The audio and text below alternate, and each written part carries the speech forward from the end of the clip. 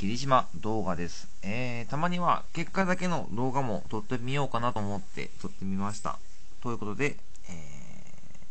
ー、3月8日と9日に行われた、えー、結果だけ、オーシャンス X は×、チューリップ賞×、こちらはね、8日に行われた土曜日分ですね。そしてこちら、日曜日に行われた大阪城ステークスは×、弥生賞はガチ人気、10番、11番、3番という着順で、えー、3連単が38.5倍の200ですね。えーと、こちらの方ですね。10番、11番、3番。えーと、僕の予想では、えー、本命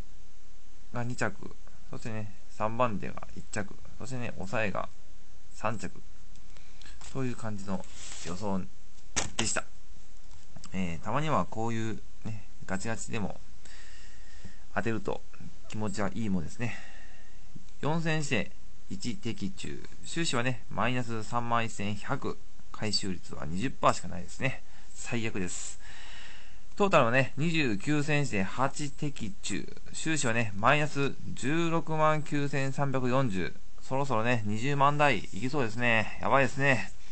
えー、回収率は39%と、軒並み下降中です。トータルで、えー、27万9800、えー、予想しまして、回収が11万460円ですね。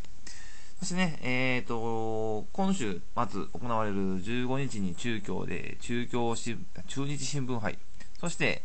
えっ、ー、と、16日には中山では、えー、中山牝馬ステークス、阪神では阪神フィリーズデビューがあります。えーとね、阪神、えー、1400m の内回りということでね、えー、ハイペースなラップが基本らしいです。えー、1200より逃げにくいということで、差し馬が有利。そしてね、えー、中間の木曜日、明日で明日ですね、えー、3月の13日にはね、えー、阪神地方でも雨が降るらしいんで、結構降るとこ書いてたんでね、まあ、どれぐらい降るかちょっとわかんないですけど、まあ、あのー、若干、逃げよりか差しの方がいいのかなと思ったりもしますけど、えー、そこら辺はね、まあ、土曜日の結果次第ということで、上位人気の方は、えー、蓬莱明子やベルカント、えー、山のフェアリー、アドマヤ美人、えー、蓬莱明子ね、えーと、京都 はいいんですけど、坂どうなんかなと。中山であまり走らなかったんで、ベルカントも同じく、えー、フラットがいいのかなと。フラットがいいなら東京向きなんかなと思ったりもしますけど、この阪神の急坂を乗り越えれるかどうか。そしてね、この1400という微妙なところ。まあ、ホーラー・アキコはもしかしたら2番手、3番手控えるかもしれないですけど、ベルカントは多分、いったいったという感じになるかなと。そこでやっぱり、ちょっと中断、まあ中断というかまあ、やや前目から競馬できる山のフェアリーやアドマイヤ美人の方が、展開的には有利なんかなと思ったりもしますね。中山牝馬ステークス、まあ、中山1008内回り、えー、スローからミドルで、えー、展開が進むらしいです。まあ、あの、コーナー4つあるんでね、えー、小回り的な感じかなまあ、基本前残りらしいですね。追い込みは、ちょっと厳しいかなと。そしてね、内枠有利。まあ、中山らしい内枠内枠有利ということでね、えー、比較的に、まあ、予想はしやすいんかなと。まあ、上位人気としては、アロマティコ、エヴァーブロッサム、フーラブライト。えー、アロマティコもね、えー、ちょっと、坂がどうなんかなと。まあ、阪神で3着には入ってますけど、初中山で坂、ちょっとどうなんかなっていうあたりですね。ちょっとエヴァーブロッサムあたりちょっとまだ見てないからわかんないですけど、フーラブライトなんかの方がまだ逆にいいのかなと。まあ、フーラブライトの方が多分一番人気しそうかなと思ってます。えー、中京1008、えー、中日新聞杯ですね。えー、多分ね、内売りだと思います。前よりか、差し馬の方がいいかなと思ったりしますけど、前残りなんかなと。まあ、そこら辺ね、あの、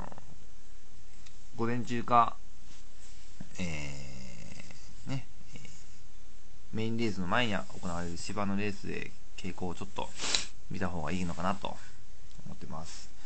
えー、いいのがね、こちらの方には揃ってるんでね、アンコイルド、ラキシス、レッドレイブン、フラガバッハ。フラガバッハは中、中京得意なんですよね。3勝してるらしいです。えー、まあ、ラキシス、アンコールド自体多分、えー、そうですね、G2 でちょっと勝てないんで、ちょっとここで賞金を加算しておこうかなと、まあ、勝ちに来たんかなと思ったりもしますけど、ね、まあ、ラキシスあたりも、ここは勝ちに来たんかなと、まあ、賞金を加算しに来たんかなと思ったりもしますね。えー、どちらにしろ、えー、桜花賞。への出走権と、えーと、ハープスターに対抗する馬が出てくるかどうか。